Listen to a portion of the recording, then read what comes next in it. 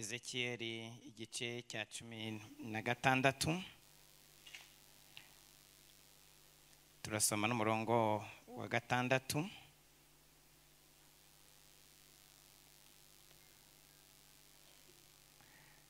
Dusome mu izina rya yesu. Aravuga ngo nuko nkunyuzeho mbona wigaragura mu ivata ryawe. Ndakubwira nti nubwo uri mu ivata ryawe ubeho. Ni ukuri narakubwiye nti nubwo uri mu ivata ryawe ubeho. Mwakire kubaho kuko imana itanga kubaho. Kandi hajemo akantu kavuga ngo nubwo. Uri mu ivata cyangwa uri mu bibazo no mu ngorane ariko ijwi ry'imana riravuze ngo baho. Uyu ni ezekiyeli wari ushohoje icyo imana ishaka. Nashakaga rero kugira ngo mbabaze tunaganire kandi n'icyo Yesu abivugaho. Turebe icyo Yesu abivugaho mu butumwa bwiza bwa yesu. Uko bwanditswe na yohana igice cya cumi.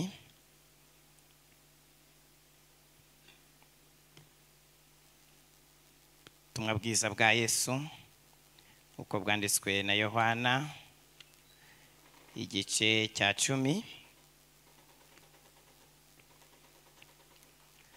Turasoma n'umurongo umwe gusa umurongo wa cumi.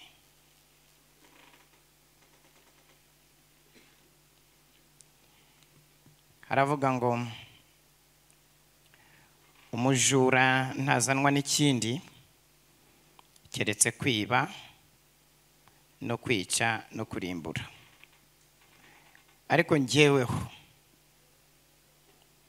uwo ni yesu. Ariko jyeweho nazanywe no kugira ngo zibone.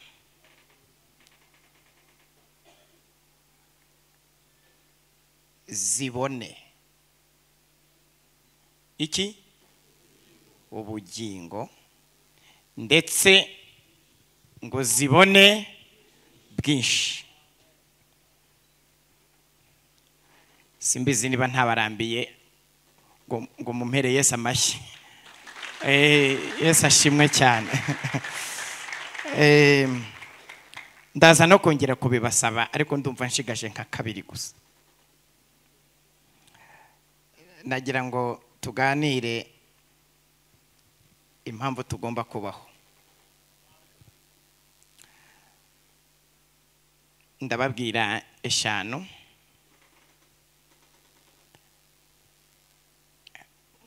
Mbabwire n'icyakorwa tukabaho. Impamvu ya mbere.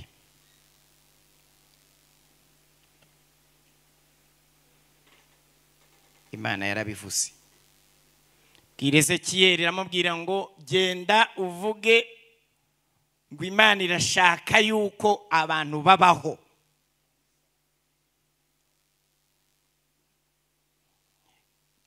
Niba imana yabivuze ikintu nkundira imana iravuga ikivuze igihagararaho.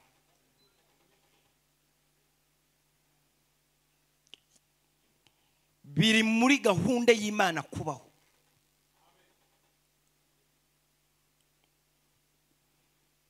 N'ikimenyimenyi nta n'umwe wiremye uwiteka ni we waturemye.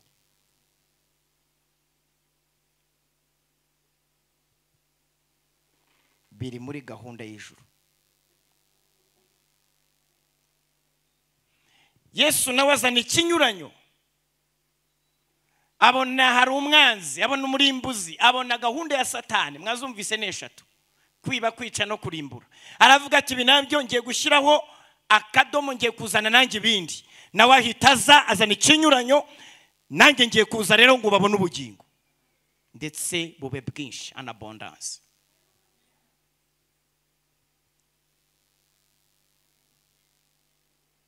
nza kubona umwanya ndaza kubabwira impamvu yavuze bwinshi. Ariyo shalomu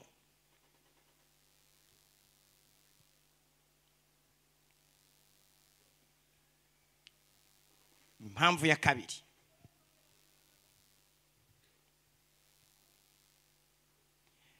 Tugomba kubaho kuko hari abo imana yahaye kubaho. Ibi nabihishuriwe ndi hano. Ndaza no kubwira abantu hano mujya muhanura n'abantu mujya mwigisha mbabwire igipimo cy'inyigisho mugomba kwigisha n'izo mutagomba kwigisha. Nabihishuriwe mu kanya ndabaha urugero. Guhanura birasaba guhanura ibyo uhita ushyira mu bikorwa. Icyo wa- washobora gukora. Ni kimwe n'abigisha. Imana igusaba kwigisha icyo nawe wakoze icyo wagezeho. Amahoro yesu yaguhaye niyo ugomba gutanga utarayabona buretse. Hishurirwa impamvu yo kubaho. Igiye guturuka mu mugabo ngiye kubabwira. Wakoze ikintu cyiza. Muri iri teraniro hari abandi bameze nkawe. Ndi bubasengere abindi ndi bubihanure baboneke. Imana izane abantu bameze nka bowazi batanga ubuzima kwa rusi. Reka mbabwire ibintu hano. Kubaho no kugirirwa neza. Imana iri gushaka ko abo yahaye ubuzima batanga ku byo babonye bagafasha abandi. Bowazi arahanura. Kubera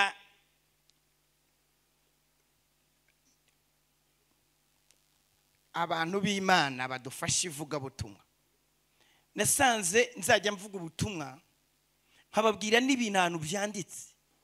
Kugira ngo bidufashe eh, muri bene data ba- b'abakozi b'imana ba- bashinzwe kugeza ubutumwa kuri. N'abantu bataraha bakamenya ibyavugiwe. Aha.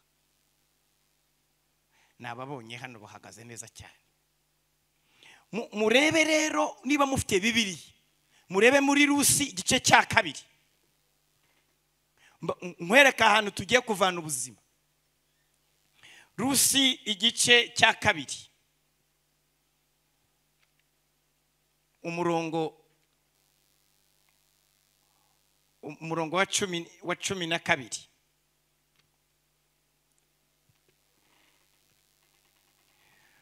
Murebe rusi igice cya kabiri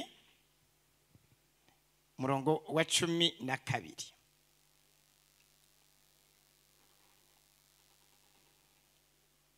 Haravuga ngo uwiteka mwahageze akwiture ibyo wakoze. Ugororerwe ingororano imeze itera niba mufite ibyanditswe. Itagabanije.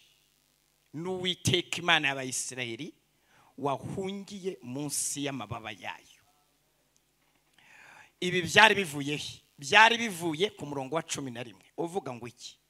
Uvuga ngo bowazi aramusubiza ati basobanuriye neza. Ibyo wagiriye nyokobukwe byose uhereye aho umugabo wawe yapfiriye. Kandi yuko wasize so na nyoko n'igihugu wavukiyemo ukaza mu bwoko utari uzi ku bw'ibyo wakoze rero uwiteka akwiture ingororano imeze ite? Itagabanije. Kandi iyo ngororano uyihabwe n'uwiteka imana y'abayisiraheli kuko wahungiye munsi y'amababa yayo. Ahita atekereza. Ibi bintu mpanuye ninde uri bubishyire mu bikorwa. Asanga abantu bose bazagabanya. Buri iyi si irimo abantu bagabanya. Ukaba wemerewe ibintu birindwi bakaguha nka bitatu. Bati najyane biriya birahagije. Kandi babigabanije byari ibyawe. Kandi bowazi yahanuye ingororano imeze ite? Itagabanije bivuga ati abandi bose nibabimuha bashobora kubimuha nabi bakagenda bagabanya bagabanya. Ni ngewe rero ngomba kubisohoza. Ndaje mbere ukuntu byagenze n'ukuntu byatangiye. Arangije ubwo ubwo hari amasaha yo kurya barageze. Mm? ariko rusi aramubwira ati nkugiriyeho umugisha databuja kuko umaze umubabaro. Yaba mwari mufite bibiliya mukareba iryo jambo. Umurongo wa cumi na gatatu. Nkugiriyeho umugisha databuja kuko um- umaze iki? Umubabaro ukabwira umuja wawe neza. Ku- kuvuga neza birahenda. Mwari muzi ko kubwira umuntu neza bituma umubabaro ugenda. Ukabwira umuja wawe neza nubwo ndahwanye n'umwe mu baja bawe. Ni ukuvuga ngo yabwiwe neza atabitekerezaga. Mu kanya ngibyo biraje rero. Igihe cyo kurya kiba kirasohoye. Bowazi aramubwira ati ngwino urye n'umutsima. Ubuzima uku butangira ni umuntu ugu- ugutumira ku mutsima. Ngo rero abantu imana yahaye umutsima musonge munini mutumire barusi. Ngwino urye ku mutsima ukoze n'intore yawe muri vino isharira. Ibi muzi icyo bivuga? Ibi ngibi muza kureba hepfo haravuga ngo ngo vino ngo cyangwa ngo yengwa mu mbuto zitwa imizabibu. Hepfo niko byanditse. Akozemo atamiri. Hanyuma yicarana n'abasaruzi bamuha impeke zikaranze arazirya arahaga arasigaza. Mwari muzi ko kuba bibiri yavuze ngo arazirya agira ate? Arahaga agira ate? Byari amateka kwa rusi. Guhaga no kugira gute? No gusigaza. Kuki ibi bintu byanditse. Mwuka arambwira ati ntiyajyaga ahaga ntiyajyaga asigaza yari gusigaza nta bihari ntuzi ko hari abantu bateka nusurobo na roborobo. Badashaka guhaha ibintu bibariye mu kiro. Bi- bibiri nusurobo roborobo. Uwo se urakeka ko asigaza? Urakeka ko ahaga?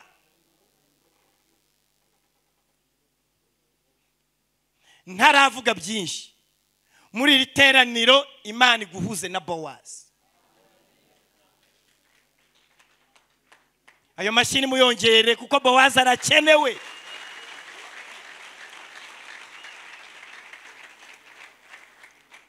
Harya ubundi hari ikinzirikira cyangwa mbegere.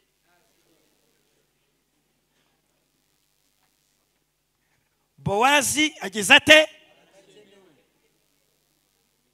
Nze mbarebe mu maso menye ko byinjiye.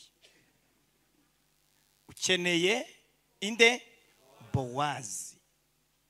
Ukubwira ati noneho karibu ku mutsima. Urya uhage. Unasigaze.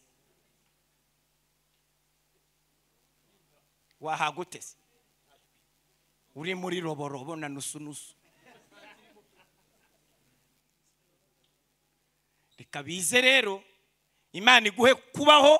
Izanye umuntu ufite ubuzima.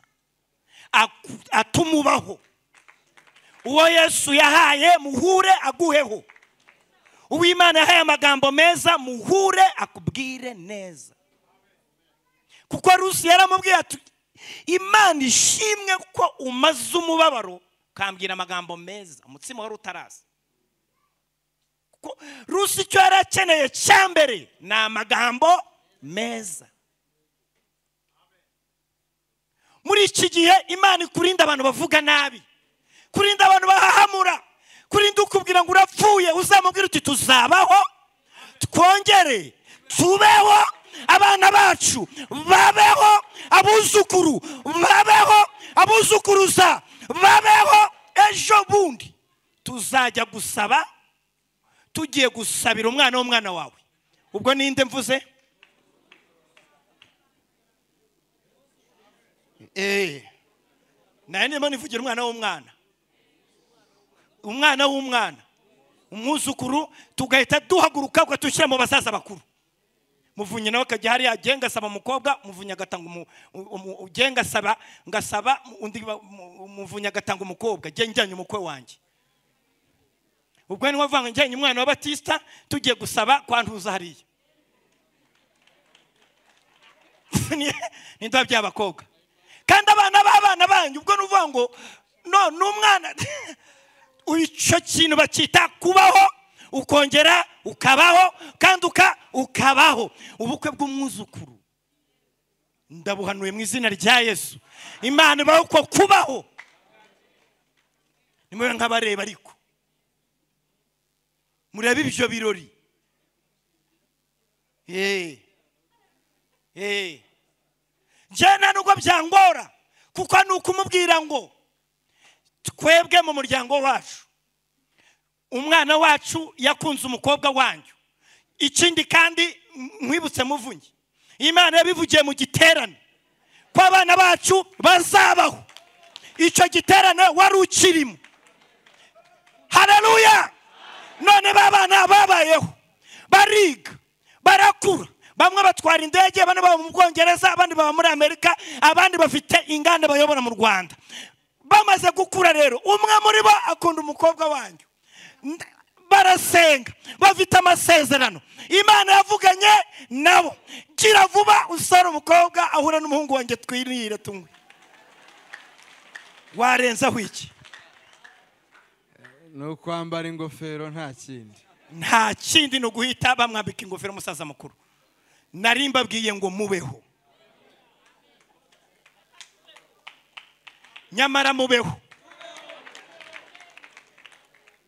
Nari nzi ko muhita muvuga amena nari mvuze ngo mubeho. Bibiliya yavuze ngo baho. Urumva wakiriye kubaho.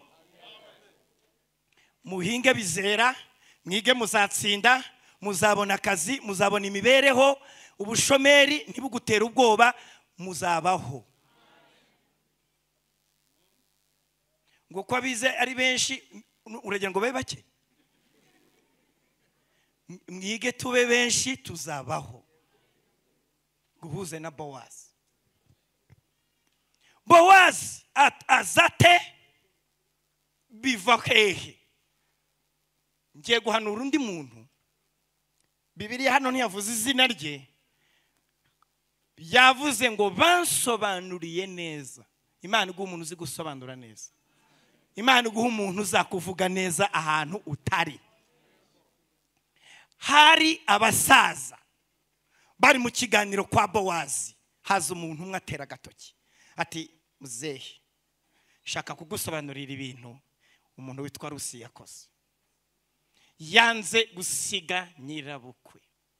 Amwihambiraho. Amukurikira ashaje. Nyirabukwe aranga aramubwira ati sigara mukobwa wanjye dore urupa biramunaniye umwana amwihambiraho. Asiga imana y'iwabo ashaka imana ya isiraheli.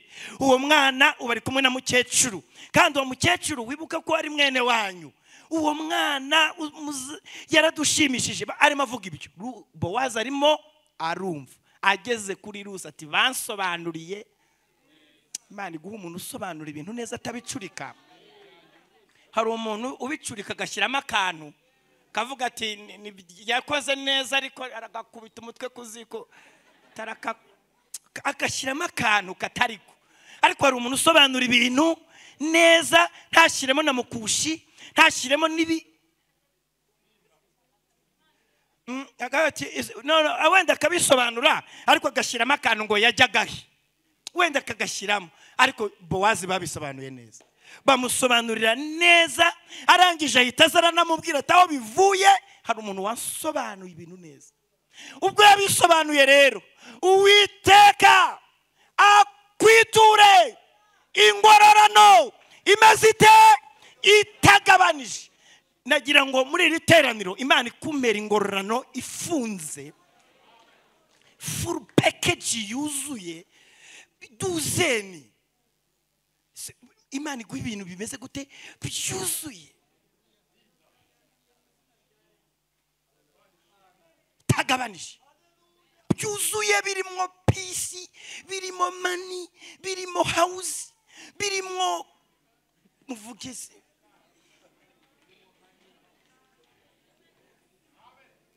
tare. Ingorane itagabanije iba yuzuye. Muri iri teraniro hari n'abantu nabonye bitambukiraga bageze hano korari iri kuririmba bahita bahagarara umenya binjiye. Nawe uje bitunguranye. Ikumpere furu. Furu. Ngira ngo sinamubonye se. Ingororano imeze ite? Itagabanije. Nubwo byagutungura ukavuga uti ni ibisanzwe ariko uhure n'ingororano itagabanije. Nujya no mu rugo uyasange ihahore furu. Arangije ati ibi ndabishyira mu bikorwa rero. Kugira ngo ingororano yuzure njyewe ndamutwara abo mugore wanjye. Noneho hariya yari umuja. No yarutwaga n'umuja. Kuko yarema ahumba mu mirima abaja barimo. Ahita aba noneho um- nyir'ibintu. Ne. Hmm?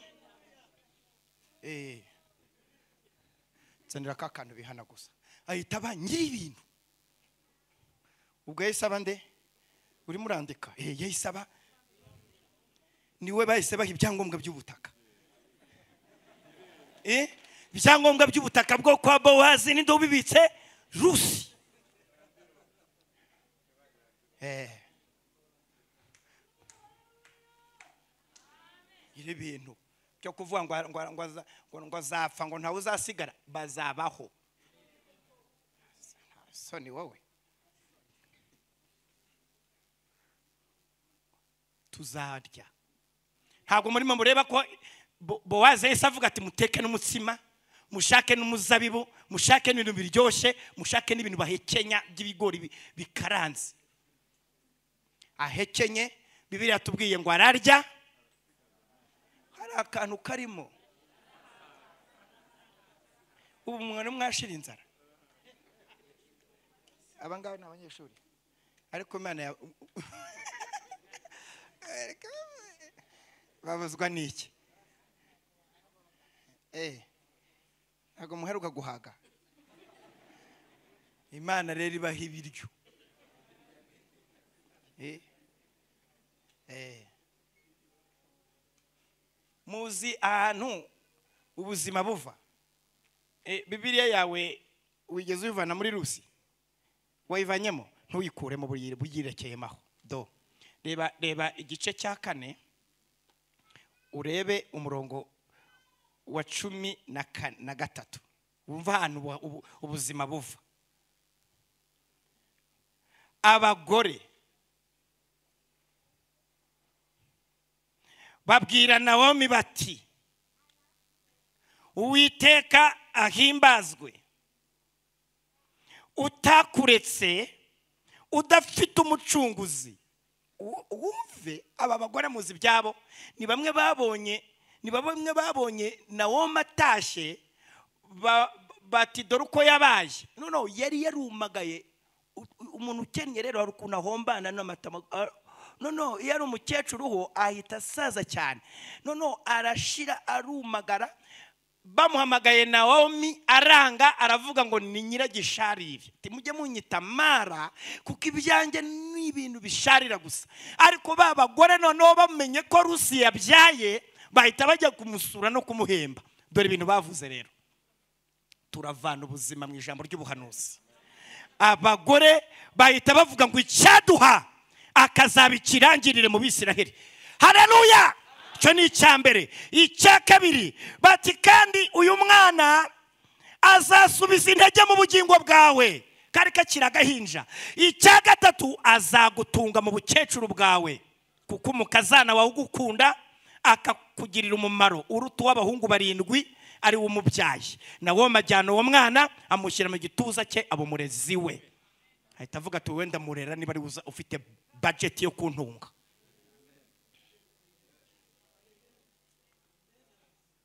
Amen amen.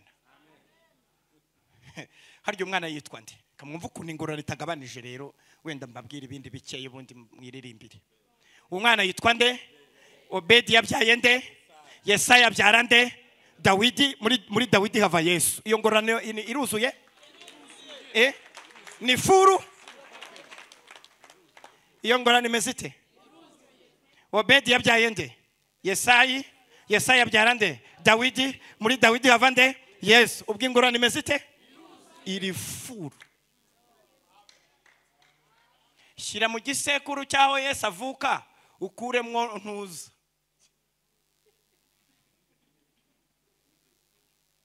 Uyu nyine. Ntibikunda ingororano imeze ite? Niruzuye. Niba yesu yagezemo biba byuzuye.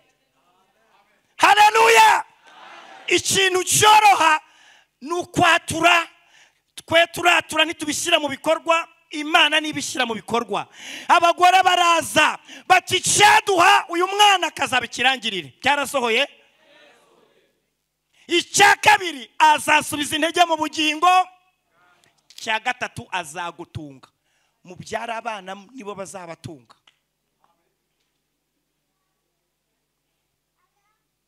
Mubanze ariko mubiganireho. Mbonye bano bahise bikanga. Eh, eh, ariko abana bafite bajeti none si uwo mwana atunze mukecuru gute? Eh oya uwo mwana amutunze ate? Hano hari umuntu uheruka kubyara. None se nta gikoma unywa cyazanywe n'abantu? Mu- mu- muhe imana amashyi yarakinyweye none se uwo mwana uwo mwana urumva atarimo abatunga? Eh? Eh. Yazanye ipura yazanye abasura bazanye bajeti uzi ko ubyara ukabona abantu baje kugusura. Bazanye ibintu umwana ntararya kuki bazana ibyo kurya? Kugira ngo papa we na mama barye. Ukabona bazanye n'isombe n'ibigufa. Ubwo se uwo mwana afite amenyo? Uwo mwana afite amenyo? Ko bazana n'isombe dusinga ibiri ibihembo hariya byaraje. Ushobora kubyara umwana ukamara amezi atandatu utarajya ku isoko. Amezi atandatu yose agashira umwavu wahozana igitoki n'umuceri na fanta bati twumvise ko mwabyaye bazana za mpapuro abana b'abakire bambara.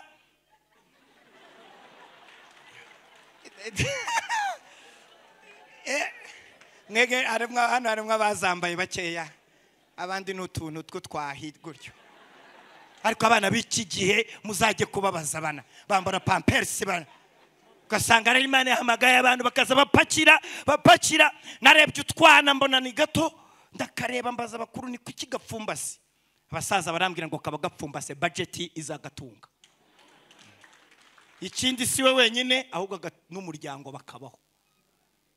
Ndavuze ngo mubeho. Muri iki giterane imana ishaka ko tubaho. Reka nsoreze kuri yesu hanyuma igiterane ndabizi ni kirekire ibindi tuzabivuga ikindi gihe ntabwo muzava kuri yesu. Hari ejo bundi hari umugabo yari afite imyaka mirongo itatu n'umunani arwaye. Ahura na yesu.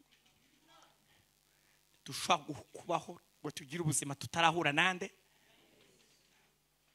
Yari yarapfuye kamwumva ibintu byamubayeho n'abihishuriwe ejo bundi.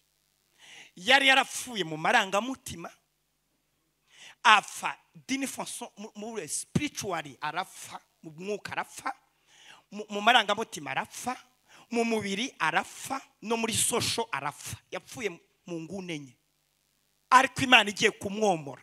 Yesu agiye kumukiza. Agiye kumuha kubaho amukiza aho yapfuye hose. Imana ikomore byuzuye.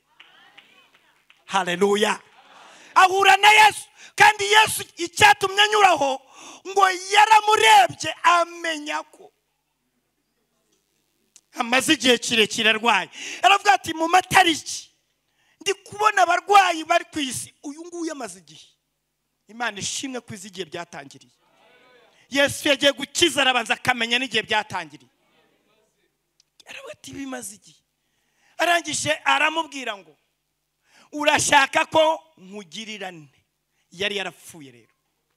Mu marangamutima no kumva amatwi atumva. Ahita avuga ati rega simfite umuntu. Kubera yarapfuye.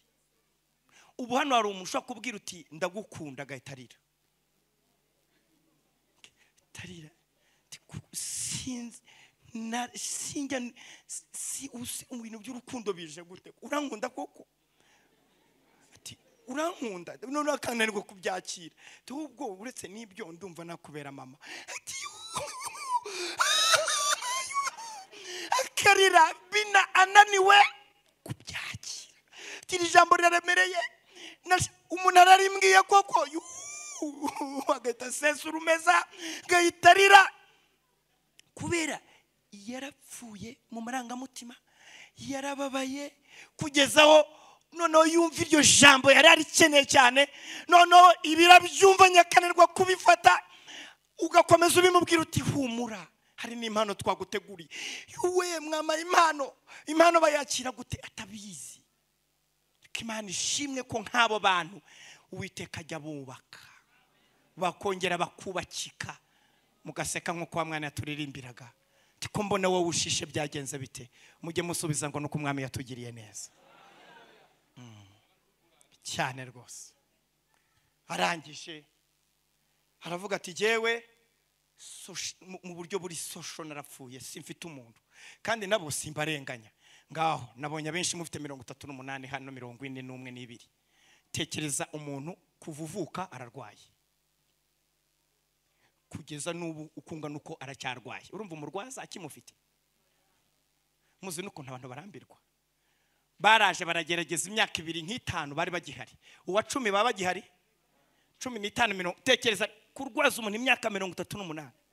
Urumva abarwaza bataba baragiye tugewe noneho niyo marayika aje hari igihe mbibona kuko nta bitotsi ngira mba ndi maso. Ariko njya kumanuka ngasanga abandi none nawe ngo ngurangirire ute? Simfite umuntu. Kandi Yesu arimo aramubaza icyo yamukorera. Ariko kuko yapfuye yarashize mu marangamutima ntahari ntiyumva. N'amatwi atumva iby'imana ivuga. Yesu abonye ko yapfuye no mu marangamutima. Ati nabwo ndamuzura. Arangije atuye ndabona igisubizo cye ntakibona. Umwami Yesu ahita yi- yi- yisubiriza. Aramubwira ngo haguruka wikorere ingobyi yawe uhite wigendera. Muhe Yesu amashyi nari nabiba- nari nabibateguje. Hareruya nari nabibateguje Eh, nsigaza ayandi. Muyabike nsigaje andi. Wumve kubera gupfa mu marangamutima no mu buryo bw'umwuka. Ahita yikorera ingobyi ye ariruka. Atabajije umukijije uwo ari we. Mwumve? Burya gukomereka ni ikibazo ntimugakomeretsanye arangije yirukansa ageze imbere ahura n'abagabo barinze isabato. Bafite ingofero ndende n'ubwanwa. Bati wowe uvuye he? Ko wikoreye? Ntabwo uzi ko umunsi ari ku wa gatandatu. Atari ko ngewe murandenganya. Umuntu unkijije ni we umbwiye ati ikorere uburiri bwawe ugende. Noneho ndikorera mbona birakunze ati oya ubwo se uwo muntu ninde utinyutse kwica isabato? Bo rero habe no gushima ku gakize kandi bari bamuzi. Abanyedini bafite ikibazo. Bafite ikibazo. Uzi ko nibura bari mu mubazi ikibazo barangije kwitera hejuru bashima imana ko ahagurutse. Ariko bo wakumuka apfa ariko ukubahiriza isabato yabo. Urumva abo bantu? Bati tubwire uwo muntu utinyutse kukubwira ngo wikorere ugende. Ye baba we asanga ntamuzi ye baba we ayoberwa uwamukijije. Iyo wibagiwe uwagukijije u- uravuga uti ngewe korari nyivuyemo Hmm? Iyo wibagiwe uwagukijije barakubwira bati hari amateraniro ngo none se ngo ubwo ayo materaniro y'ikigoroba ngo ngo bihuriye hehe no gusenga? Ntuzibagirwe uwagukijije ndabahaguye ndabahannye ntuzamwibagirwe. Arangije aratsindwa. Atsinzwe aravuga ati ntacyo. Ubwo muyobewe. Uko biri kose uriya muntu ajya asenga. Akajya ahora ajya mu rusengero ngo arebe ko azamubona. Kambere ku murongo ntimuzabibagirwe. Impamvu ngiye kubabwira ni uko mbonye ko imitima yanyu yafungutse. Ubundi hari amagambo mbika nkayabwira abantu bake. Ngiye rero kubamenera ibanga. Impamvu ariko murayizi ni uko mbona bifata. Yohana igice cya gatanu. Ni ibanga rikomeye. Eh? muzabivuge. Oya mubivuge. Mubivuge igice cya gatanu umurongo wa cumi na kane. Hanyuma y'ibyo yesu amubona mu rusengero. Aramubwira ati dore ubaye muzima. Ntukongere gukora icyaha utazabona ishyano riruta irya mbere. Uwo muntu aragenda abwira abayuda yuko ari yesu arikosora. Akimumenya ahita yirukankira kuri kuri ba bagabo. Wa muntu wanyijije ejo bundi ntsindwa namumenye ni yesu. Hari igihe umuntu atsindwa akaga no kwikosora. Reka rero mbabaze mbabwire ibanga. Ubu ndabizi ntimurabyumva rega ari uriya muntu wakize ari na yesu. Uwabonye undi ninde ni? Imana iguha umugisha. Ni. Abo yakijije arabazi. N'abazagira ikindi azongereraho agize ate? Arabazi. Ahantu abacungiye ni mu rusengero. Mm. E- etape ya kabiri ni mu materaniro. Yesu amubona mu rusengero. Kandi uriya ni umwe mperuka guhagurutsa. We rero ntiyari azi isura ntiyari azi n'uwo ari we. Nubwo wamwibagirwa we ntazakwibagirwa hararuya nubwo wahaguruka wirukanka utabajije yesu we azakwiyereka bwa kabiri.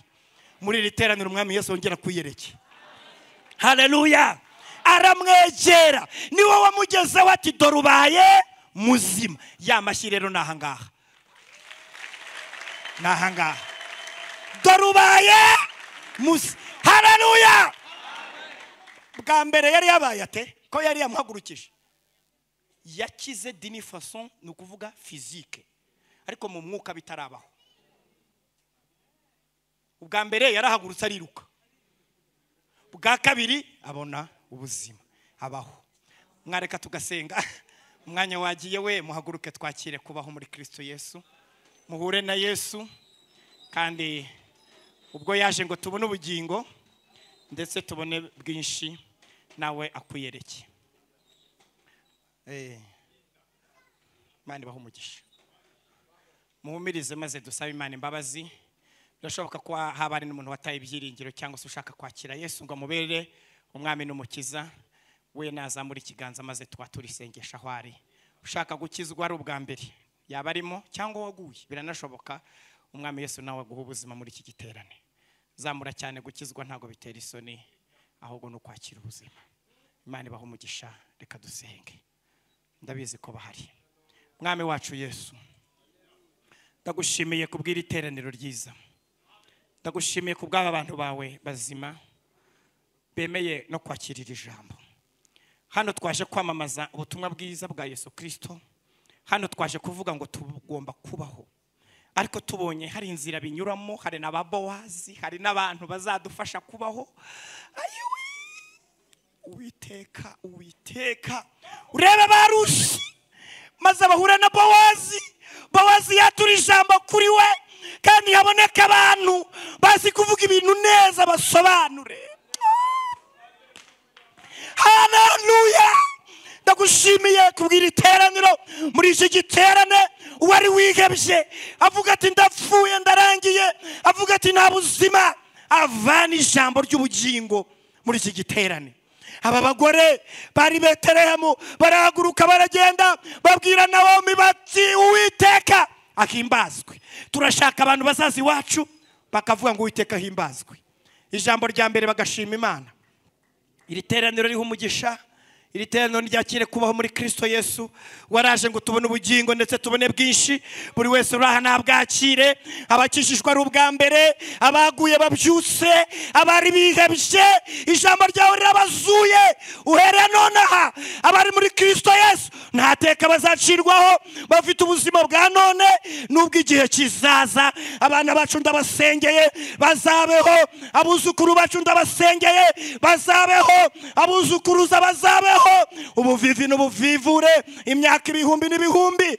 Abantu bavuga imana bazaboneke. Urakoze mwami. Icyubahiro n'ubutware n'ubushobozi n'imbaraga n'ibyawe ukwiye amashyi n'impundu mu izina rya yesu. Amen.